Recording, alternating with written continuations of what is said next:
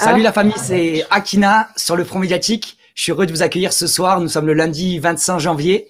Et donc, c'est la le deuxième épisode de la série Guerrier numérique.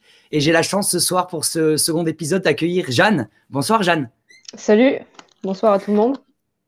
Voilà, je suis contente de, t'accueillir pour cette seconde émission. Donc, euh, tu es une guerrière euh, du numérique euh, de plus en plus emblématique sur la toile. Hein. Tu, as, tu as fait ta place en, en, 2020. Donc, tu réalises des doublages en version française de vidéos pour mieux comprendre le monde. Et donc, ce soir, comme la semaine dernière avec Fils de Pangolin, on va avoir la chance d'avoir un échange pour savoir aussi euh, l'être humain qui a derrière euh, cette chaîne et derrière euh, cet engagement qui est le tien.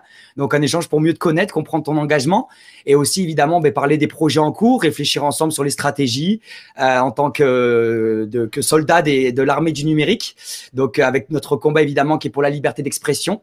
Et donc en fin d'émission, sachez qu'on vous fera participer la communauté, donc vous pourrez poser des questions sur les différentes plateformes. Hein. On est présent ce soir donc sur Facebook, sur Twitch, sur VK et sur Periscope. Et donc, euh, la dernière partie de l'émission sera réservée euh, à vous pour que vous puissiez aussi euh, donc poser des questions à Jeanne Traduction. mais pour commencer, Jeanne, ben, est-ce que tu pourrais te présenter rapidement, hein, en, quelques minutes, pour ceux qui ne te connaissent pas ou peu?